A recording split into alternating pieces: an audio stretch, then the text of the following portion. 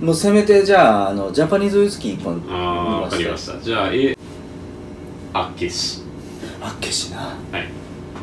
あっけしまあまああっけして新しいよね。新しいですね。うん。一杯ちょうだいじゃん、はい。どうぞ。と色薄い。残念ながらね3年ものなんですよ。あっけしはなんかはい。ウイスキーって呼べないニューボーンばかりが多くない？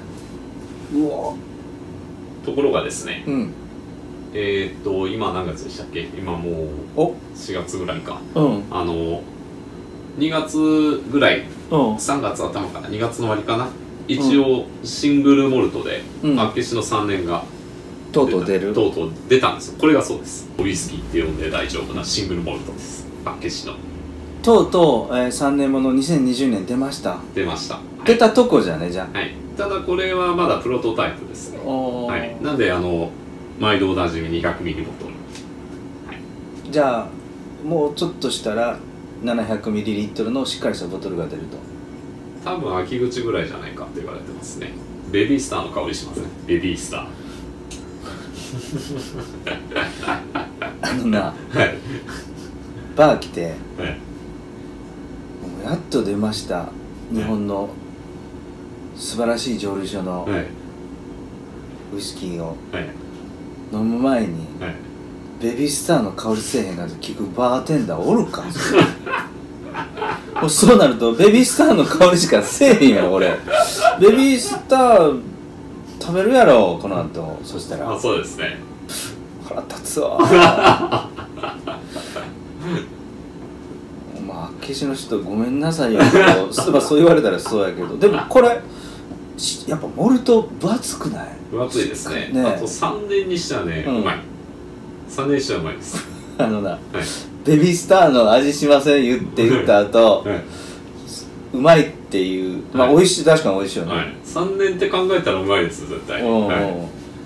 これがじゃあ今後5年10年した後はい。まあまあスタンダードな10年ぐらいが出た時に、はい。楽しみやねどうなるか。そうですね。かなりね多分5年でも結構うまいと思いますこれだったら。10年だったらもうかなりうまいと思いますね。まだしなれへんな。はい。ただですね、うん。ただです。はい。これうん。1本いくらだと思いますか？200どうせ高いんやろ。まあそれは3000円ぐらいやろ。視聴者クイズにしましょうかこれ。いや検索したら一発で出てきますよね税込みなんとうん。5500円です200200ミリ200ミリで200ミリではい。なんで700に換算するとうん。1万8000円です、3年で。3年で。ボーリングサボってますね。強気やなみたいな。高すぎて買わんというバーテンダーさん結構多かったです。やっぱり。なるほど。はい。とはいえな、はい。あの日本のウイスキー今バカ高やんか。はい。売れてるんじゃない？売れてますね。なあ。これちなみに一応しあの付き合いのあるというか、うん。あのまあいろんな酒屋取引のある酒屋さんにうん。声かけして、うん。入るんだったらまあくださいっていうふうにうん。一応声かけ結構したんですけどうん。酒屋さんの間でうん。血を血をで争う戦い。仕入れ合戦。仕入れ合戦がすごいらしいです。はい。でやっぱ手に入らないっていうバーテンダーさんかなり欲しいけど手に入らんとお客さんもかなりいたみたいですうーんな。るで自分何,、ん。何件かちょっと声かけてほどうん。入ったらくださいって。で1本来たらいいかなと思ったら3本来たんですよ。いらんわそんなに。そ んないらんかった。知らないんで1本お客さんにうん。ちょっと、譲って。譲ってあげました、うん。あの、まあ、今世界中でマイクロディスラリーっていうのがはい。流行ってて、アッケシもその中の一つやろうけどこれだけまだちょ浅い熟成の時はい。にお金に換えられるっていうのは僕ら商売人の視点から言うとなかなか羨ましいよな、いや本当ですよ。これのうーん元祖みたいのってやっぱりあれになるんですよね。キルフォーマンになるのかな。なるほどな。はい。なんか環境も似てない。似てますね。なんかどっちかというとニューボーンのボトルもよう似とったと。本当ですね そうか。はい。キルホーマンで多分あれ最初すごいなんか批判の嵐だったらしいじゃないですか。ねえあれ草分けというか、はい。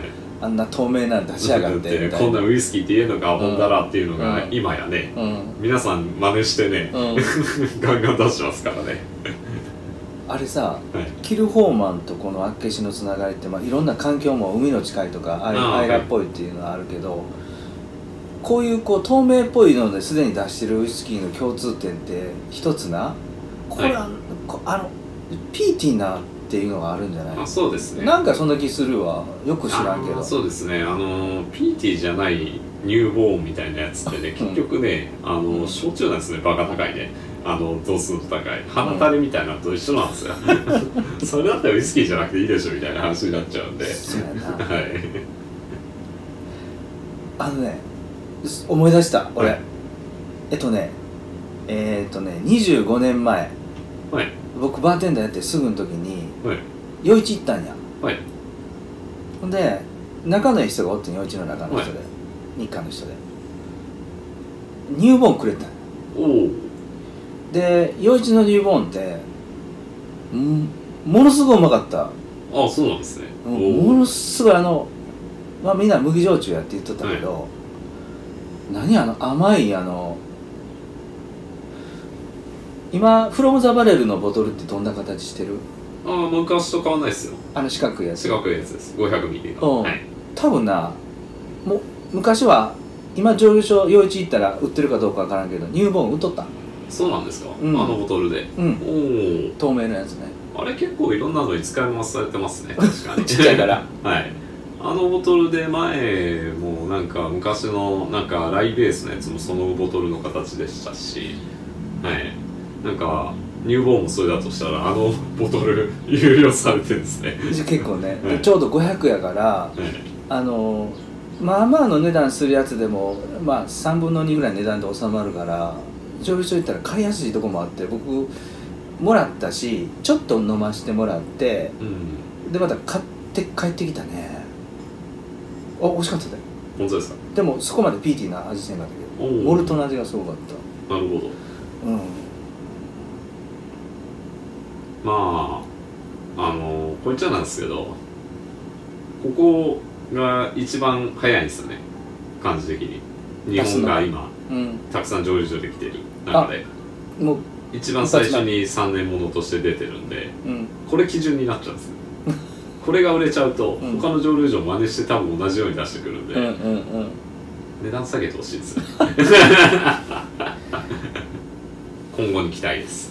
まあ秋口ぐらい本当はうん。あれらしいですけどね。あの東京オリンピックに合わせて出して、あの盛り上げようと多分してたんだと思いますけど。あ東京オリンピックでこの2020を出してはい。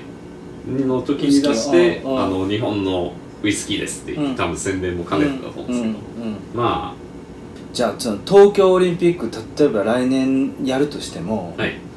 ウイスキーってすごい熱くなるやろもっと熱くなるんじゃない？そうですね。熱くなると思いますわ。うん。ちょっとねあまり熱くならないでいいんですけどね。はい。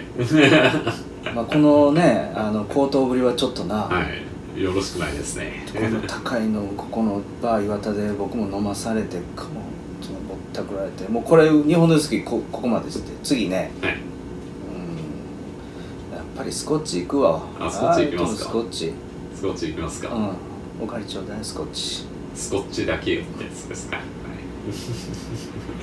お後がよろしいよって